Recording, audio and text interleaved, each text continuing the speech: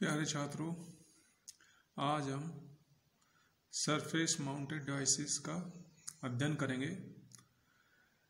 ऐसी डिवाइसेस जिनको पीसीबी के सरफेस या पृष्ठ पर रखकर शोल्डर किया जाता है, उन्हें हम सरफेस माउंटेड डिवाइसेस या एसएमडी कहते हैं। इलेक्ट्रॉनिक्स उद्योग में 1980 के दशक में इनका प्रयोग या प्रचलन प्रारंभ हुआ। ये स्वतः निर्माण सिद्धांत पर कार्य करती है। इसके कारण इनका उत्पादन बढ़ जा, बढ़ता है और डिवाइसेस का आकार छोटा एवं इनमें कम पदार्थ यूज़ होने के कारण इनके मूल्य में कमी आती है। डिवाइसेस लघु रूप में होती है तथा हल्की होती है और विश्वसनीय भी होती है। इनमें पूर्व में बताया कंपोनेंट्स को सीधा ही पीसीबी की सरफेस पर शोल्डर कर दिया जाता है। इसलिए इन्हें सरफेस माउंटेड डिवाइसेस भी कहते हैं। जैसा कि चित्र में दर्शाया है, यहाँ पर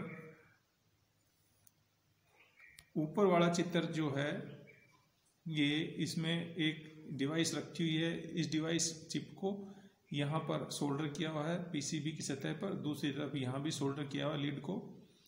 ये चीप लीड है। इसका नाम है पृष्ठ चढ़ित तकनीक या एस एम डी टेक्निक।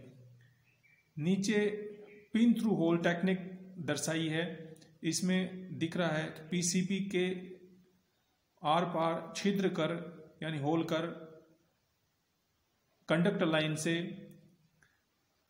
इन लीड्स को शोल्डर द्वारा शोल्डर किया हुआ है। ये दोनों तरफ़ दिखा रखा है। इसलिए यहाँ पर कंडक्टर लीड होल में से पास करके पीसीबी पर शोल्डर कर रखा है, जबकि यहाँ पर ऐसा नहीं है। ये सरफेस पे सतह पर शोल्डर किया हुआ है। ये होल में से पास करने के लिए पास कर शोल्डर किया हुआ है। तो दोनों में ये डिफरेंस है। ये फास्ट प्रोसेस है, साथ ही छोटे कंपोनेंट्स का आकार देकर कम जगह में और विश्वसनीय विश्वसनीय कंपोनेंट्स की डिज़ाइन एज ए एसएमडी के रूप में कर सकते हैं। इनकी टाइप्स बताई गई है। SMD active type SMD passive SMD discrete SMD integrated SMD active assembly उन्हें कैसे हैं? जिनमें अपनी मूल विशेषताएँ कुछ समय के बाद बदल जाती है। पासिव असेंबली उन असेंबलीज या डिवाइसेस को कहते हैं जिनकी मूल विशेषताएँ नहीं बदलती है। डिस्केट असेंबली में ट्रांजिस्टर आदि डिस्केट डिवाइसेस यूज़ होती है और ये डिवाइसेस अपनी मूल विशेषताओं का त्याग नहीं करती, यानी इनमें कोई बदलाव नहीं होता है, जैसा कि पासिव डाइसेज में होता है। जैसे पासिव डाइसेज में भी इस प्रकार का मूल विशेषताओं बदलाव नहीं होता है। वैसे ही डिस्क्रेट एस के अंदर भी अपनी मूल विशेषताओं में बदलाव नहीं होता है। इंटेग्रेटेड एस वह एस एम हैं जिनमें आईसीज का यूज़ होता है और आईसीज को as a surface mount devices के रूप में प्रयोग किया जाता है। सरफेस विभिन्न प्रकार के जो कंपोनेंट्स हैं, उनको एज ए एसएमडी के रूप में डालने के लिए यहाँ पर बताया रखा है। जैसे रजिस्टर है कैपेसिटर है डायोड्स है ट्रांजिस्टर है और आईसीज हैं। तो सर्वप्रथम सरफेस माउंटेड रजिस्टर इसके तीन भाग होते हैं रजिस्टर के। Ceramic part resistive film part और टर्मिनल यानी इलेक्ट्रोड्स पार्ट जैसा कि इस चित्र में दर्शा रखा है, ये वाला पार्ट ऊपर जो दर्शा रखा है, वो सेरेमिक बॉडी है।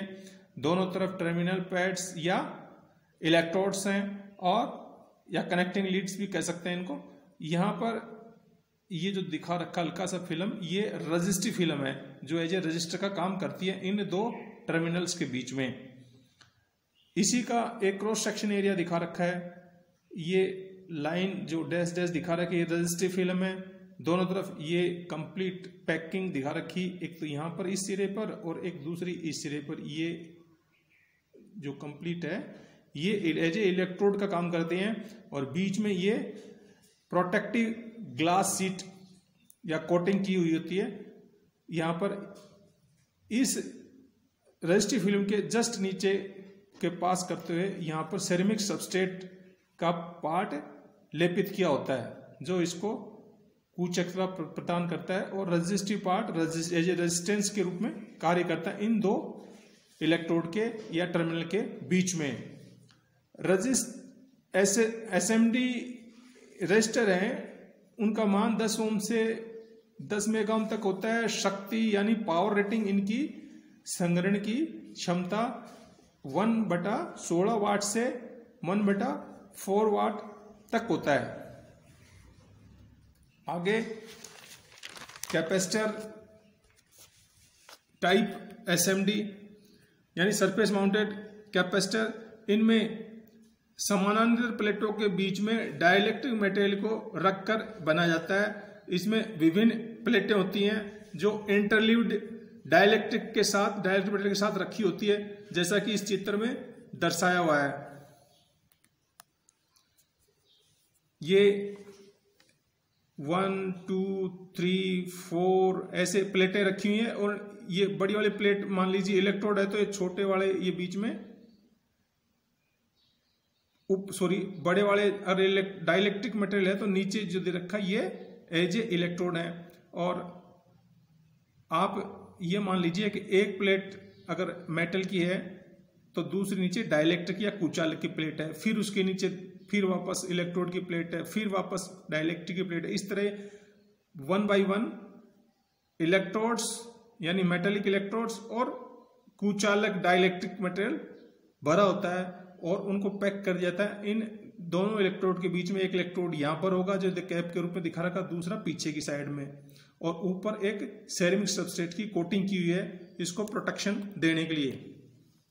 ये एसएमडी टाइप कैपेसिटर दो प्रकार के संभव हैं पोलराइज्ड और नॉन पोलराइज्ड पोलराइज्ड होते हैं जिनमें पॉजिटिव नेगेटिव टर्मिनल होते हैं और नॉन पोलराइज्ड में पॉजिटिव नेगेटिव टर्मिनल का सिद्धांत नहीं होता है। इनकी रेंज वन पीएफ यानी पिकोफेड से लेकर वन माइक्रोफेड तक होती है और इनकी कैपेसिटेंस का मान तीन माइक्रोफेड पाँच माइक्रोफेड या सात माइक्रोफेड से पचास माइक्रोफेड के मध्य भी हो सकता है। इनका निर्माण करने के लिए जो पदार्थ यूज़ होता है वो सेरेमिक या एल्यूमिनियम या टेंटलम मेटल को यूज़ किया जाता है। इनका संयोजन सॉरी इनका एडजस्टमेंट बार बार नहीं होता है। इन्हें एक बार ही यूज़ किया जाता है पीसीबी पे, फिर इनमें कोई चेंज नहीं किया जा सकता। टॉलरेंस इनकी प्लस माइनस फाइव परसेंट होती है। सरफेस माउंटेड डायोड्स ये दो प्रकार के होते हैं। Metal electronic metal electrode surface and second small outline diode जैसा कि चित्र में दर्शा रखा है, एक डायोड के पैकिंग दिखा रखी है एसएमडी दिखा रखी है।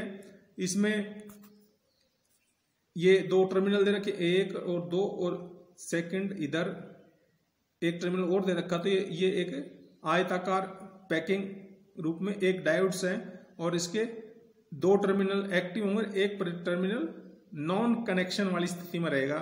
जैसा कि इस चित्र में दे रखा वन और टू अगर कनेक्ट कनेक्शन वाली स्थिति में है तो नो कनेक्शन थर्ड होगा। तो ये एक टू डायोड एरे का चित्र दिया हुआ है, जिसमें वन टू एक्टिव पोजीशन में और थ्री नॉन एक्टिव यानी नॉन कनेक्शन वाली स्थिति में होगा। ये डायोड्स के अलग अलग पोजीशन दे रखी, यहाँ पर विपरीत दिशा में, यहाँ पर भी विपरीत दिशा में, यानी यहाँ पर पॉजिटिव टर्मिनल आपस में जुड़े हुए हैं डायोड्स के, यहाँ पर नेगेटिव टर्मिनल सेंटर में जुड़े हुए हैं आपस में, और यहाँ पर पॉजिटिव एंड नेगेटिव टर्मिनल बीच में से आपस में जुड़े हुए हैं। तो तीन प्रकार से इन डायोड अरे को तैयार कर एस एम डी डायोड्स तैयार किए जा सकते हैं। सरफेस माउंटेड ट्रांजिस्टर जैसा कि आपको पता है, इसमें बैस कलेक्टर मीटर होते हैं। तो उनको तीन टर्मिनल होते हैं। तीन टर्मिनल यहाँ दिखा भी रखे। एक, दो और तीन। अगर ये बैस है तो ये दो इलेक्ट्रोड और एमीटर के रूप में काम करेंगे। ये लीड कन्फिग्रेशन के रूप में डिस्केट स्मॉल आउटलाइन ट्रांजिस्टर के रूप में इनको बनाया जाता है। ये भी आकार में आयताकार होते हैं।